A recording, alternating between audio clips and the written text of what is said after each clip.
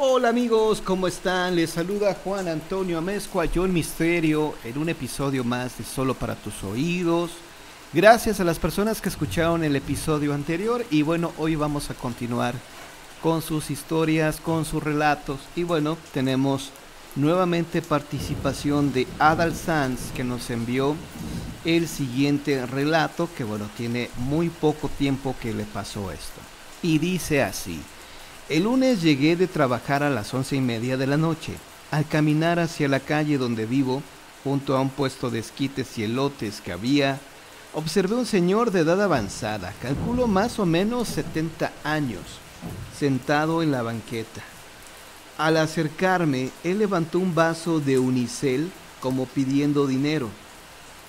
Me acerqué para darle una moneda y decirle a la pareja del puesto que le dieran algo en ese momento, señores del puesto, me dijeron que ya no había servicio, a lo que contesté que le iba a dar una moneda al viejito que estaba pidiendo. Ellos, sorprendidos, me respondieron que no había nadie, que no los asustara. Al voltear, al ver la banqueta, no había nadie. Aclaro que estaría máximo a un metro de la banqueta y como a tres del puesto. Esta esquina es alumbrada por dos lámparas del alumbrado público. Ambas funcionan. Buscamos con la vista al Señor y no lo vimos caminando hacia mi casa.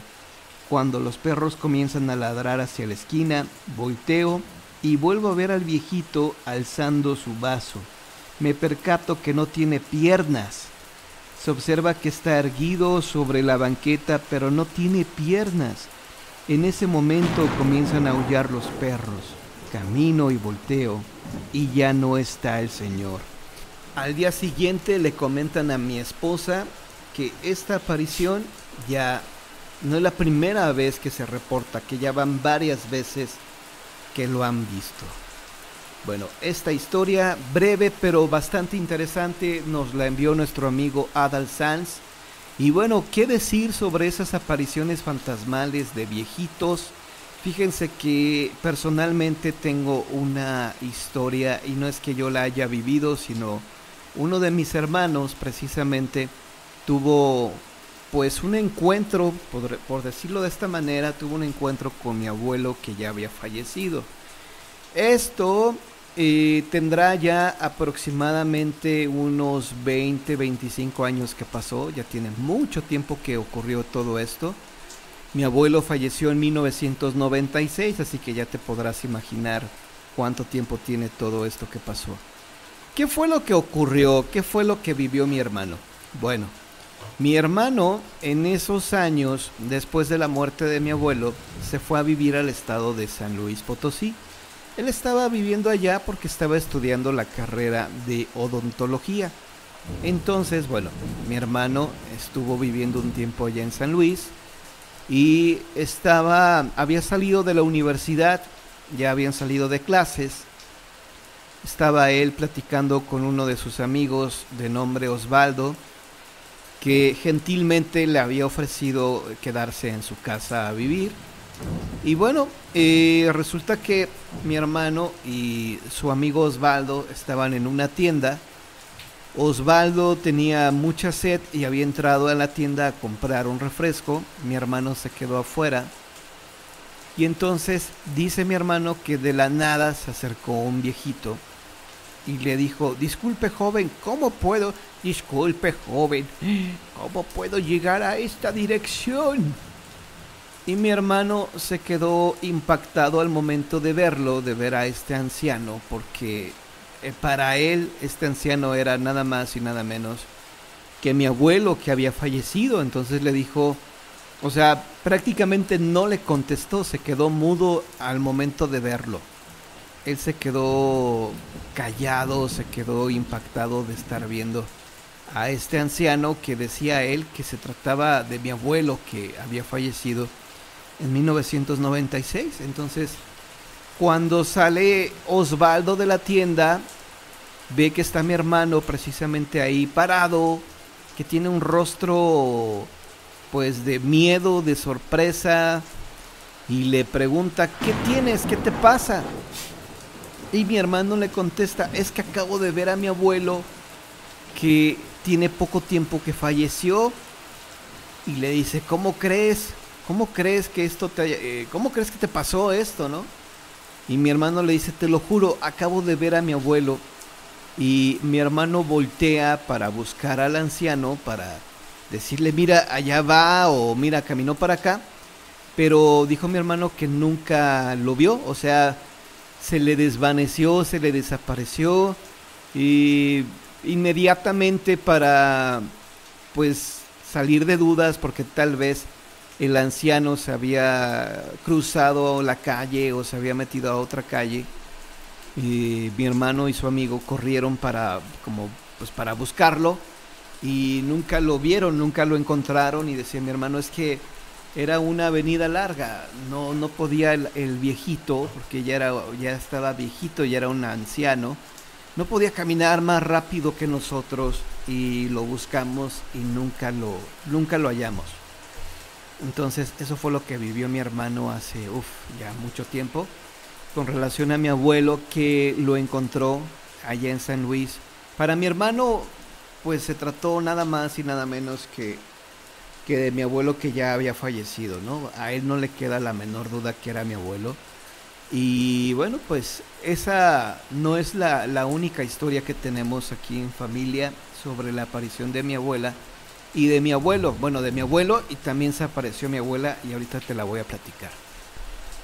Bueno, te decía que no es la primera ocasión en que se observa pues al fantasma, obviamente a lo largo de la historia y a lo largo de la investigación de los fantasmas hay muchas historias de ancianos fantasmas, de abuelitos fantasmas, que pues son historias tal vez tiernas, o tal vez muy tenebrosas, no sé cómo tú lo quieras ver o como lo quieras eh, pensar o sentir o quizás hasta que te pase en carne propia vas a decir, qué historia tierna, ni qué ocho cuartos, ¿no? Ni qué ocho cuartos, John. Es una historia que da mucho miedo el, el que se te aparezca un anciano fantasma.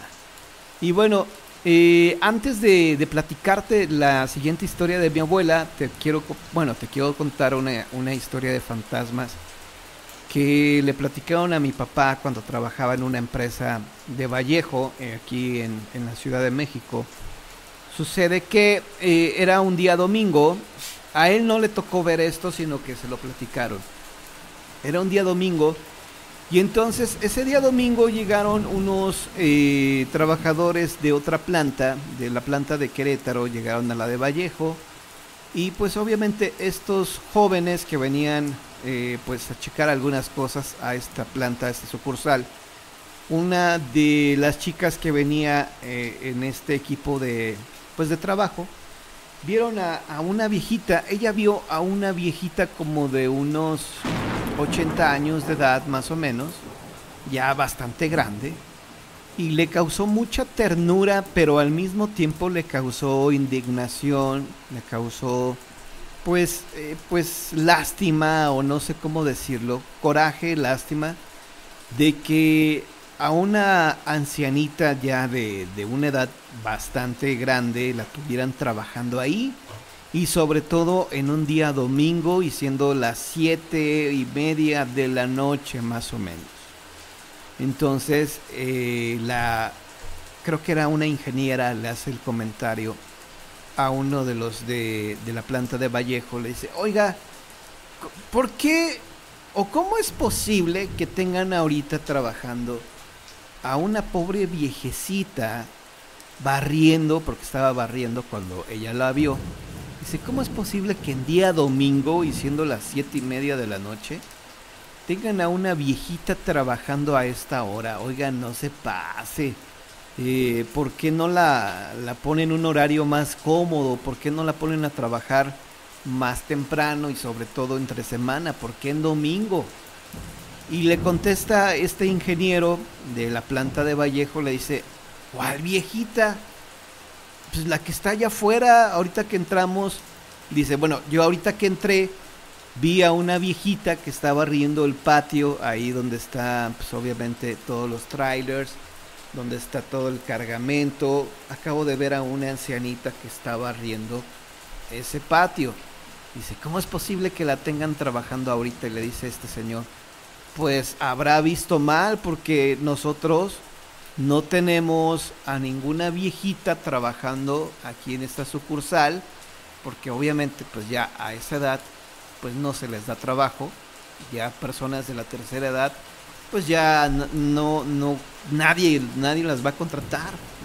Y aunque así fuera, dice, yo no, no tendría a ninguna ancianita trabajando a esta hora, a las siete y media, ocho de la noche y en un día domingo.